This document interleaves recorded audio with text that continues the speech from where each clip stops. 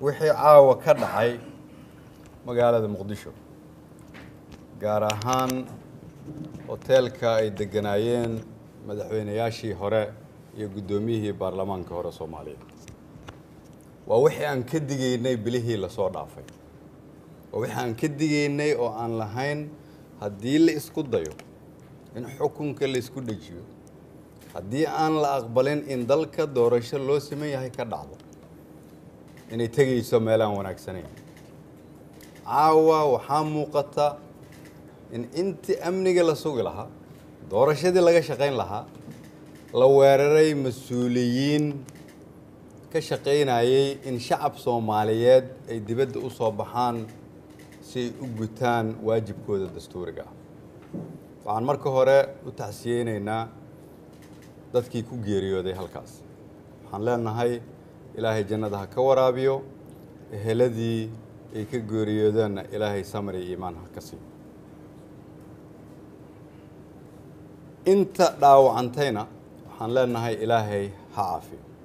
Weerarkii caawa ka dhacay hoteelkaas waxa uu ahaa weerar qaawan oo lagu gardaraystay laguna rabay in lagu dhibaateeyo naftoodana dhibaato loogu geysto madaxda halkaas ku signay. Wax kale oo lagu macnayn karo ma jiraan. Waana taariikh madow oo aan caawa dhex taagannahay iyadoo muddo xileedkii hay'adaha dastuuriga dalka uu dhammaaday madaxweynaha xilkiisu dhammaadana shaqadiisu keliya ay ahayd dalkan inuu doorasho galo.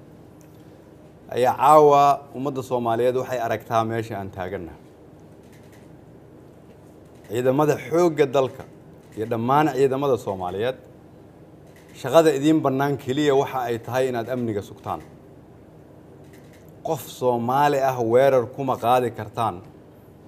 Ogaada hadda waxaad tihiin ciidan soomaaliyeed oo iyagu dalka mas'uul ka ah maadaama hay'adihii dastuuriga ahaa oo ugu horeyso madaxtooyadu xilkeedii uu dhammaa sababta kaliftay caawa waxa dhacay.